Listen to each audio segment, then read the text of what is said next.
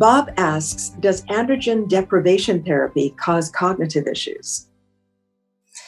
So, androgen deprivation therapy is another way of saying hormone therapy. Um, we're lowering testosterone, which is an androgen.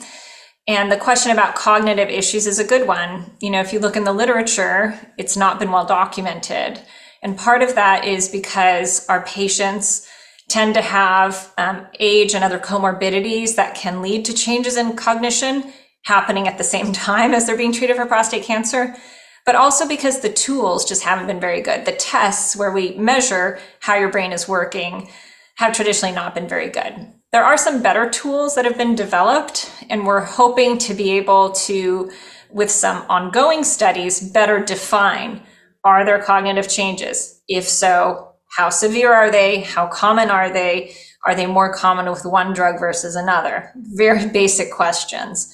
I will say in my own practice, after 15 years of treating prostate cancer, I do believe that some patients experience cognitive changes during ADT.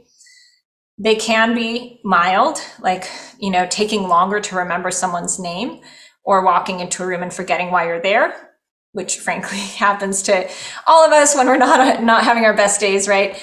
Um, but obviously, I do see that a little bit more with prostate cancer patients who are receiving hormonal therapy for some of my really high functioning patients, um, it can be helpful to use a drug that treats uh, attention um, because some of the cognitive dysfunction actually ends up being an issue with attention.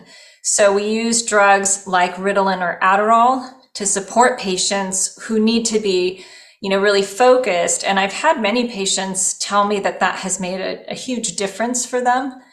Um, so it's not going to solve the overall um, changes that are may happen in the brain on the basis of the hormonal deprivation, which we know happens from animal models.